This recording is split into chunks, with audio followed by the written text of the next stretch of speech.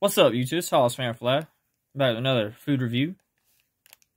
Okay, this is the chicken bacon ranch. Um, I had them add some mayonnaise though because I like mayonnaise. You could have them add extra sauces if you want.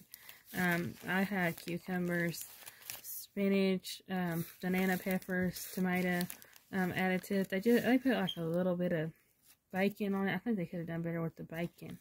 Um, it's kind of flimsy like not very cooked very well, but anyway, so this is the chicken bacon ranch.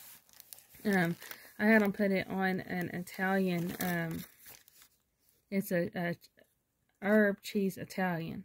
And I had, it was supposed to be toasted, but you don't look toasted. I mean, it's kind of toasted, but they didn't toast it very well. But it still looks like it's going to be pretty good. It looks like it's going to be pretty good. Here's a bell pepper. All right. That's, that's it. All right, thank you. Hogs Fan 4 Life. Everybody stay safe out there. Thank you. Comment, like, subscribe, YouTube. Thanks.